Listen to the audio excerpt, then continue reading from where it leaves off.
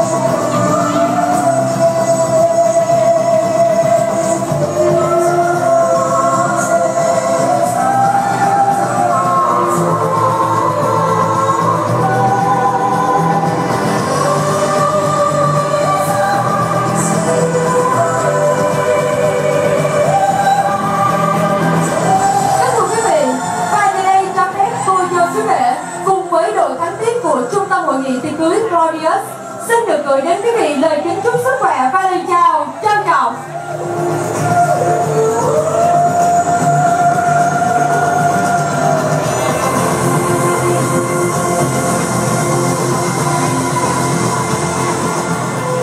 Kính thưa quý vị,